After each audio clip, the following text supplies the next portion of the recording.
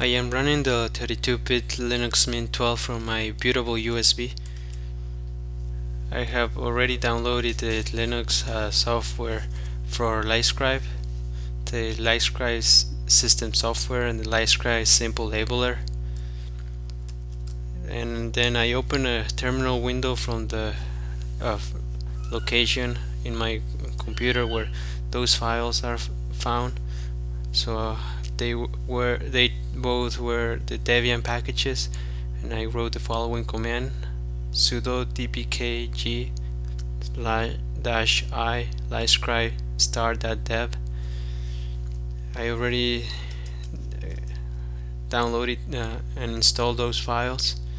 Now in order to open the uh, LightScribe labeler I write the follow following command sudo 4L dash GUI I. Enter my administrate my password.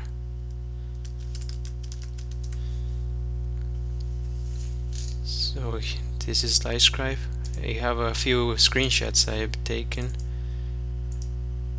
Um, I edited one which I know, where I put the Linux Mint uh, logo so this is in color but after I use the mm, LightScribe labeler I hit print uh,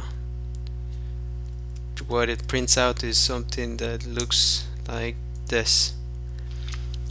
So the graphics are not so bad. If you can read from here Linux Mint LibreOffice looks a much better than using your Sharpie so to compare this. I try to get a nice picture but uh, so hope this is good enough to notice the, the uh, how the CDs look like. And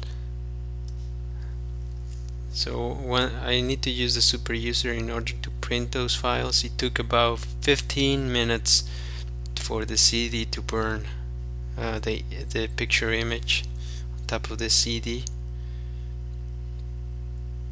so now I hit Control C to close the my the uh, LightScribe labeler.